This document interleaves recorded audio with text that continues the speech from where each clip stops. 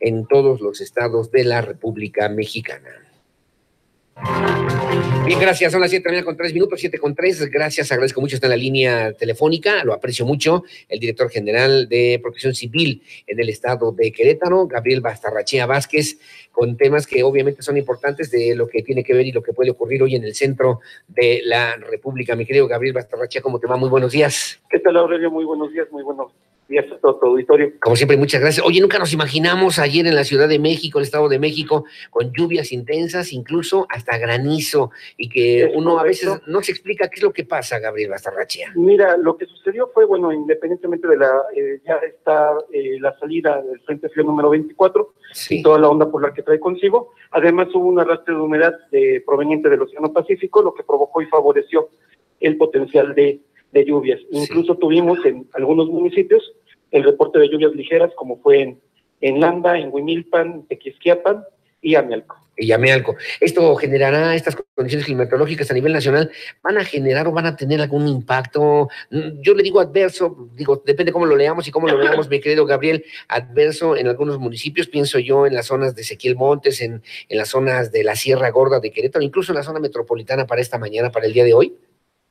Mira, para el día de hoy, en la- obviamente en la mañana, este, como lo estamos sintiendo ahorita, en la noche, Sí, tendremos este frío, poco frío durante el día y frío en partes altas. sí, Vamos a tener un cielo nubl- medio nublado, sí, vientos ligeros a moderados, con una expectativa máxima de 35 kilómetros por hora los vientos. sí, sí. En lo que viene siendo la zona metropolitana, podemos tener temperaturas de 8 a 19 grados. En la zona sur, de 7 a 18, Amialco, este, de 3 a 14. sí. En la zona centro, de 6 a 17. La tierra, eh, lo que es Jalpan, de 12 a 22. Y las partes altas de la tierra, de 1 a 10 grados. Son las condiciones prevalecientes que tenemos para el día de hoy. Posiblemente también sean las mismas para el día de mañana. Eh, seguiremos monitoreando los modelos para poder Sí. informar a la población oportunamente. Correcto. Eh, eh, probabilidad de lluvias nos sorprendió también en algunas zonas, incluso en la zona metropolitana de Querétaro, con algunos chipichipi. No con se alguna- están manejando exactamente lluvias dispersas, Sí. lluvias poco significativas. Eh, estaremos monitoreando también junto con los municipios. Eh, eso, la llovizna o la lluvia ligera, Sí. podría ocasionar una sensación térmica diferente de que se siente más frío. precauciones que debemos tomar los ciudadanos, precauciones que están asumiendo también los gobiernos municipales, el gobierno del estado a través de la instancia que tú representas en protección civil y qué recomendaciones, mi querido Gabriel. Mira, la recomendación más importante es seguir los canales oficiales. Eh, aprovecho para decir que durante, eh, bueno, lo que fue el día de ayer, durante las redes sociales se manejó un, este, una alerta roja de una temperatura abrupta, un- una baja de temperatura abrupta de hasta menos 8 grados. Sí, Este, obviamente esto es falso. Ya nos encargamos nosotros de desmentirlo junto Sí, con las sí, coordinaciones municipales y ser muy puntual en seguir los canales oficiales pueden ser los de la CEA, los de la CONAGUA, los de la coordinación estatal o bien las coordinaciones municipales. las coordinaciones municipales que están atentas también informando sobre esta situación. ¿Algún albergue ya disponible, ya dispuesto, ya eh, preventivo por lo menos para que se puedan atender cualquier los contingencia? que han manejado este alojamientos, bueno, en este caso hay un albergue permanente que es el Gimpatí en el caso del municipio de Querétaro, Sí, ese está todo el año. sí, y este, tiene este, condiciones favorables, este, principalmente en esta temporada. Sí. Eh, también San Juan del Río puso un alojamiento eh, de temporada. Sí. Este, Ellos también lo pusieron, lo tienen en el CESUCO, un Sí. alojamiento aproximadamente para 40 personas.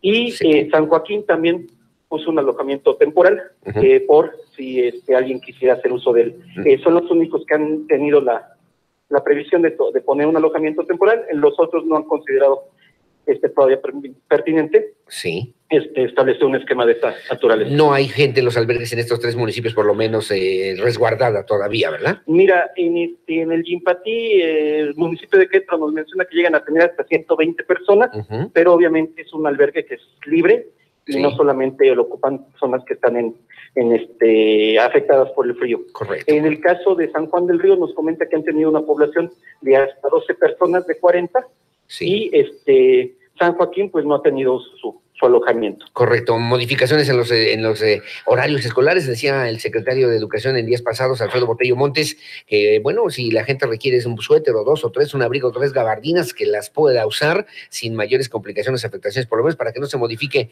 el horario escolar. ¿Hay alguna indicación ya al respecto, mi querido Gabriel Bastarrochea? Ninguna, seguimos con los mismos parámetros que nos que tiene este, tanto la Secretaría de Educación como SEDEC. Sí. Eh, la tendencia es utilizar este, el sistema de abrigo de cebollita, que es por capas, Sí. es el más indicado en esta temporada. en esta temporada. En fin, ¿alguna recomendación finalmente para esta misma semana, Gabriel Bastarrachea? Mira, pues este, la, de, la de siempre, tener especial cuidado con este, menores y personas de eh, adultos mayores. Sí, Eh, la ingesta de, de alimentos ricos en vitaminas A y C. sí. Y si, si hay que salir eh, a la calle, pues este no incurrir en lo que vienen siendo los cambios abruptos de temperatura. Correcto, eh, la vacunación de la vacuna de la influenza también muy recomendable, que lo han señalado también las autoridades de la Secretaría de Salud. Claro que sí, estamos nosotros promoviendo, al igual que ellos, el que la gente esté vacunada este, contra las enfermedades típicas de la temporada y pues bueno, seguir estas campañas de, de vacunación por parte del sector salud. Estamos al pendiente, te agradezco mucho la gentileza, tomarnos la llamada, estar atentos además a estas, eh, pues, información a través de Así Sucede en Querétaro con la Fuerza de la Verdad. Gracias, Gabriel Bastarrachea, director de Protección Civil en el Estado de Querétaro. ¿Algún comentario final? Ninguno, Aurelio, estamos a tus órdenes Gracias. y este, sigan en contacto con nuestras redes sociales. Estamos atentos y al pendiente. Que tengas buenos días y gracias otra vez. Gracias, hasta luego. Hasta luego. Son las 7 de la mañana con 9 minutos, 7 con 9. Ahí lo tiene ustedes. Gabriel Bastarrachea Vázquez es director de Protección Civil en el estado de Querétaro. Atento, sí, albergues en San Juan del Río, en el Secuco, digamos, disponibles y dispuestos por cualquier contingencia.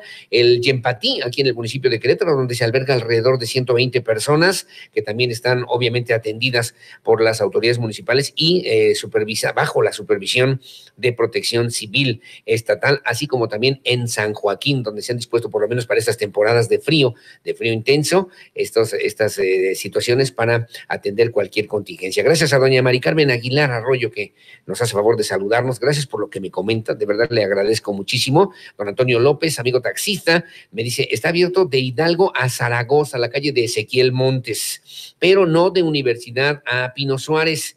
No hay acceso ahí de Universidad Pino Suárez, no hay acceso. ¿Y de qué sirve que abran si aún no tienen las banquetas? Me dice, aún está incompleta esta obra. Saludos al licenciado Aurelio. Bueno, siempre nos escucha. Gracias, don Antonio López, en el taxi que van manejando y que van trabajando siempre para servir a Querétaro. Entonces, reitero, me parece que la información es importante.